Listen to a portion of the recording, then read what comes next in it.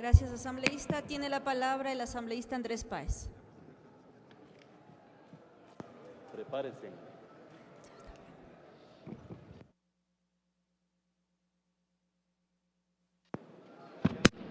Gracias, señora presidenta. Legisladores. En un tema como este hay que remitirse a las normas de carácter constitucional. El artículo 34 de la Constitución formulada en Montecristi, no precisamente por los que nos sentamos a este lado, sino de nuestros vecinos de enfrente, buena parte de ellos fueron asambleístas en Montecristi, claramente en el artículo 34 establece al derecho de la seguridad social como irrenunciable de todas las personas y dice que será deber y responsabilidad primordial del Estado. Como es obvio, parte de ese derecho a la seguridad social es el de tener pensiones jubilares dignas, acordes a las necesidades de los jubilados. Pero ¿qué dice este artículo? La seguridad social se regirá, entre otros, por los principios de solidaridad.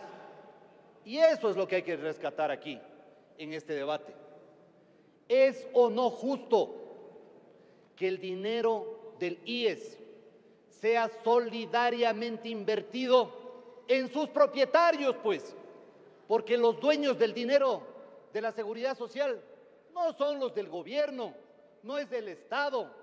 El dinero de la seguridad social es de los pensionistas y de los afiliados porque viene de sus bolsillos. Y eso es algo que tiene que quedar en claro. Artículo 372 de la Constitución.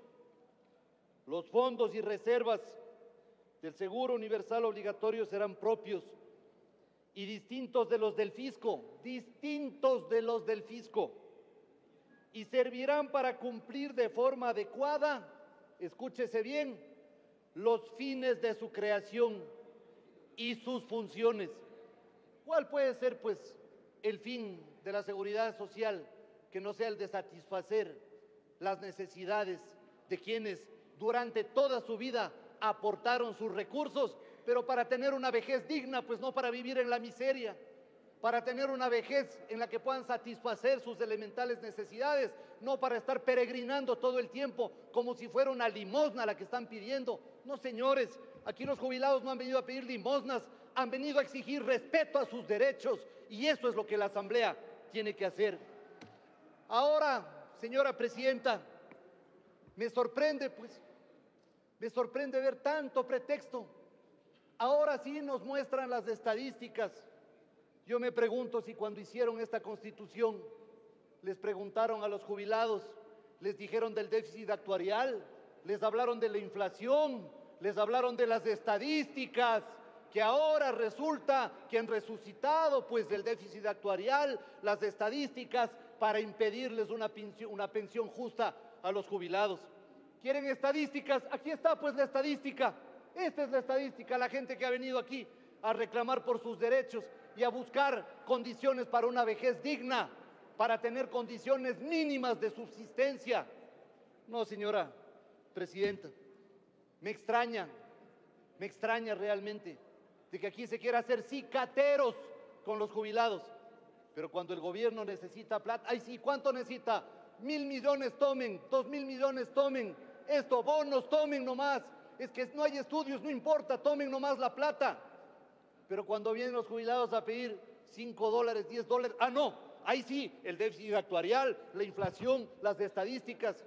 Por favor, qué contradictorio todo esto frente a lo que se dijo en Montecristi. Qué contradictorio frente a los discursos de que no será nunca más del IES la caja chica de los gobiernos de turno.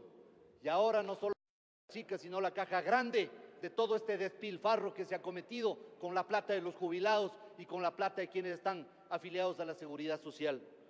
Señora Presidenta, aquí vamos a exigir que se cumplan con lo que señala esta Constitución, que se cumpla en proteger los derechos fundamentales de los jubilados, que se cumpla en darles pensiones dignas y una vida digna a la gente que ha trabajado durante tantos años con el propósito de tener condiciones mínimas para pasar los últimos años de su vida.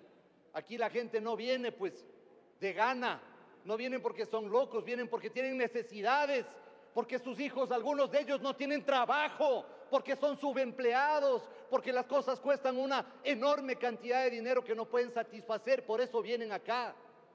Y acá no podemos como asamblea hacernos los de los oídos sordos frente a un justo reclamo.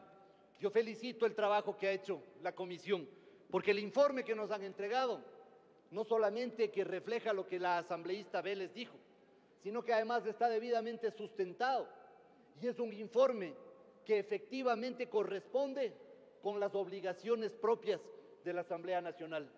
Y espero que en esta Asamblea los que no están en la causa de los jubilados se quiten la careta de una vez y que el pueblo ecuatoriano sepa quiénes están del lado de los jubilados y quiénes están ahora extrañamente por el déficit actuarial, por las estadísticas, por la inflación. ¿Cuándo hablaron de eso? Pues ahora que ha venido la gente a reclamar, ahora sí les sacan en cara las estadísticas, la inflación, el déficit actuarial. ¿Cuándo les dijeron nada?